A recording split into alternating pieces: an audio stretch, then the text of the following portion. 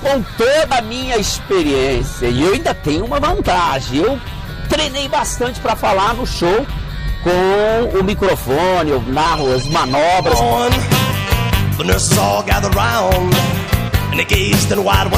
Vamos ver, eu vou tentar atender o celular, tirando fininha nos cones. Aí, vamos atender. Tocou, aí, já derruba um. Não dá nem para imaginar o que fazer, ó. Não consegui nem apertar, não tem a mínima chance, mas a mínima chance de atender o celular fazendo esse percurso. Não tem jeito, não tem como para você ver o quanto, né? Claro, quem está dirigindo normalmente, dá tempo, pega o celular, mas e se pintar o imprevisto, como era o meu caso aqui, tinha os cones na minha frente, a manobra, a concentração, não tem como. Fazer o percurso aqui, pegar o celular e fazer o percurso é impossível.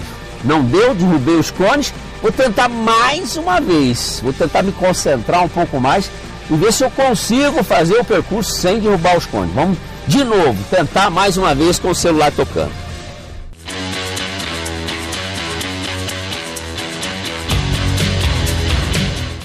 Ele já tá tocando aí, vamos lá! Agora, começou, vamos pegar o celular.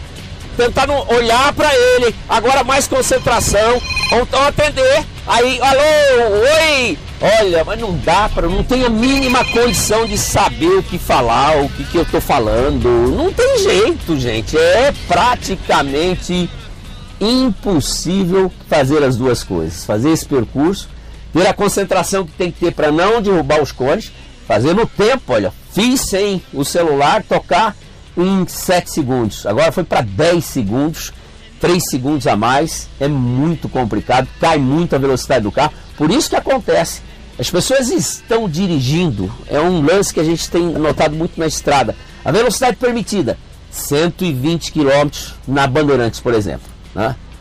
120. Aí, do lado esquerdo, uma pessoa andando a 80, falando no celular. Ele está realmente correndo um sério risco, porque a velocidade é 120. Se você estiver andando a 80, que é o meu caso aqui, baixou pra caramba a velocidade, é porque perdeu a concentração. Foi falar no celular, automaticamente o pé já levanta e você perde a concentração.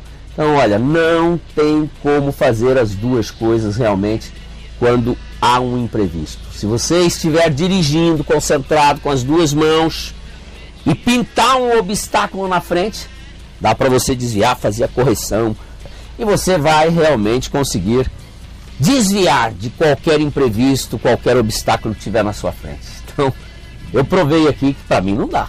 Fazer os cones aqui, fazer o percurso e falar no celular, não deu não.